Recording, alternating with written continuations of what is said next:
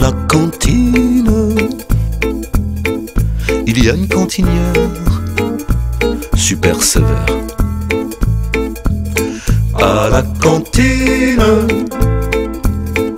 elle nous regarde manger, virgule, les bras croisés. point, Si je mange pas ma courgette, elle prend ma fourchette, pique la chose verte pour me la faire avaler.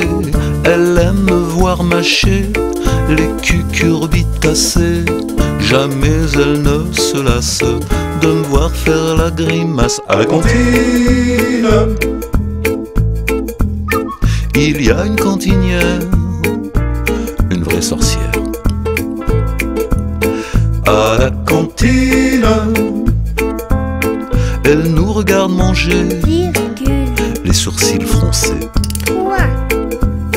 Quand c'est le jour des frites, ouais, on dirait que ça l'irrite et qu'elle attend le jour des topinambours.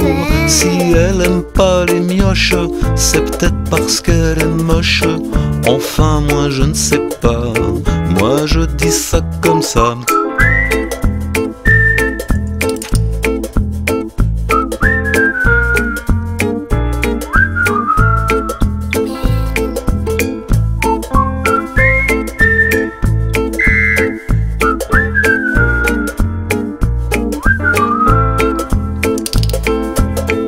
C'est vrai que c'est un ton, comme dirait mon tonton, un ton qui hausse le ton, et même le demi-ton à la cantine.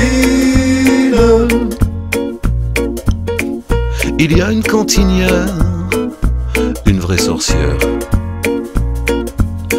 À la cantine, elle nous regarde manger, la main sur son sifflet.